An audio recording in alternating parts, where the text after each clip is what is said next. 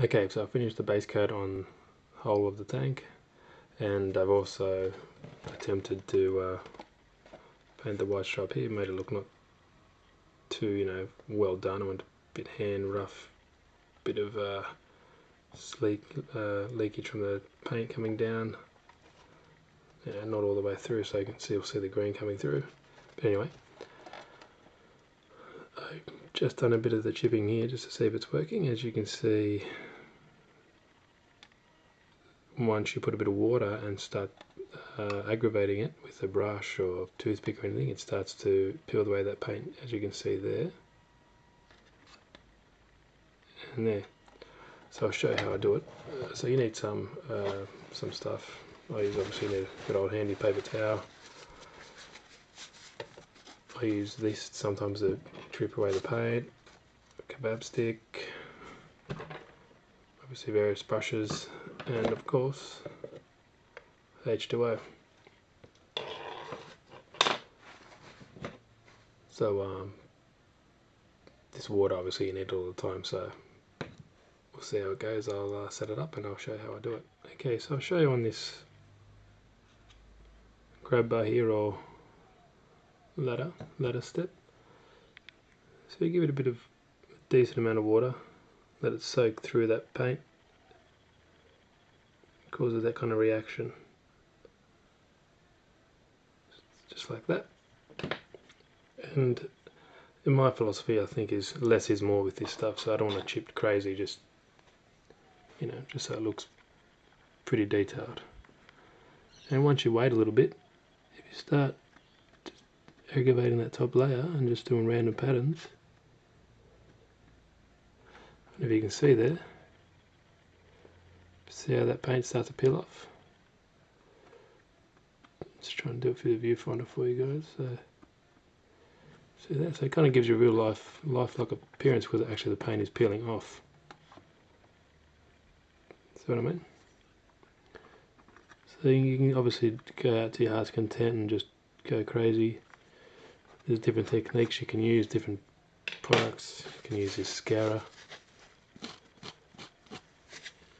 But I don't want to go too crazy. You just give it a bit of wipe with your hand, gets rid of the excess. And there you go.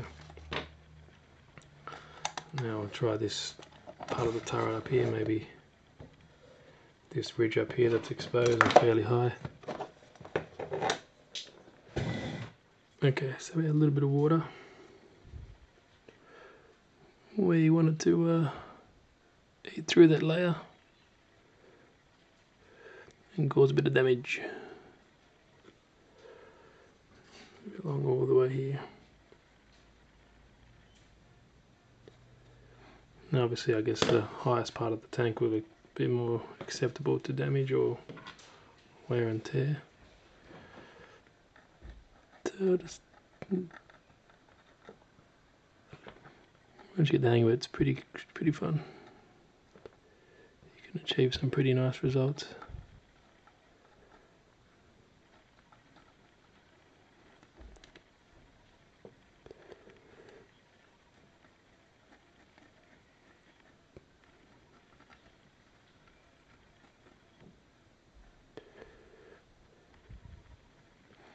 What I mean? That black brown color is that color that's coming through and because I've actually protected it as well with the matte clear it doesn't go any further than that color so it won't go through to the primer the grey color.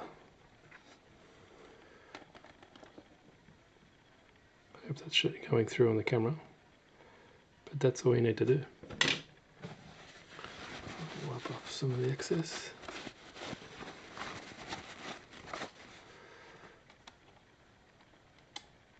what I mean? Looks quite nice, and I'm, I don't want to go over exaggerated, so that's that's what I'm aiming for. But obviously, if you want to go bigger scratches, like I have on my Panzer 4 here, you can go do whatever do whatever you like. That's the beauty of it.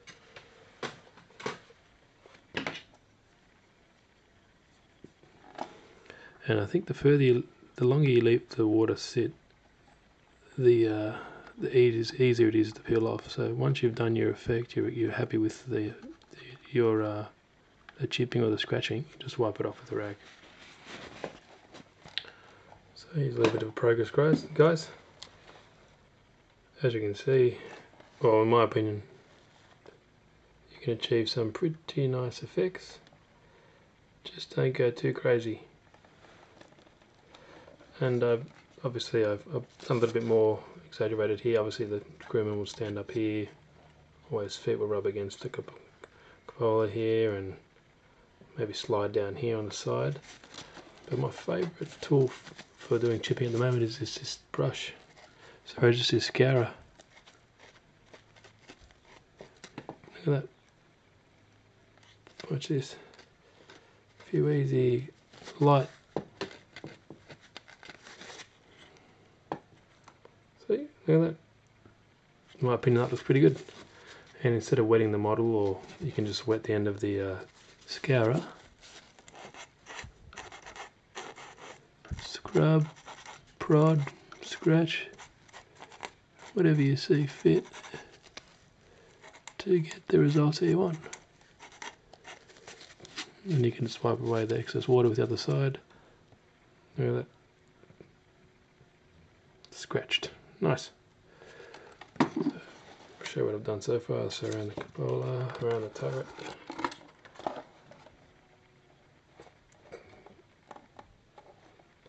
Yeah. A few nicks there. On here. Along this seam here where the hinges are. In here where this mechanism will always hit there, obviously it'll wear away the paint.